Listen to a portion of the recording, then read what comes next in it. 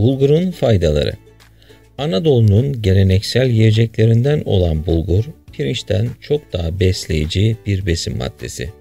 Bulgur, kandaki yağları düşürücü yönü olduğu bilinen lif bakımından oldukça zengin bir gıdadır. Karbonhidrat değeri yüksek, protein değeri düşüktür.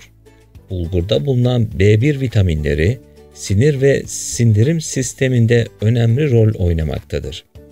İçerdiği folik asitten dolayı çocuk ve hamile bayanlar için çok önemli bir gıda maddesidir.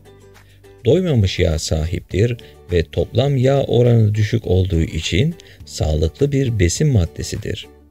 Kolesterol içermez, yüksek mineral ve selülozdan dolayı besin emilimini hızlandırır. Kabızlığı engeller ve bağırsak kanserini önlemeye de yardımcıdır. Bakliyatlarla karşılaştırıldığında dünyadaki en önemli besin kaynağı durumuna gelmektedir. Pişirme ve kurutma işlemlerinden dolayı küf oluşumuna karşı dayanıklıdır ve raf ömrü diğer ürünlerinden daha uzundur.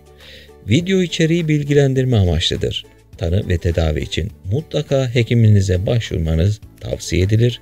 Herkese sağlıklı günler dileğiyle, hoşçakalın.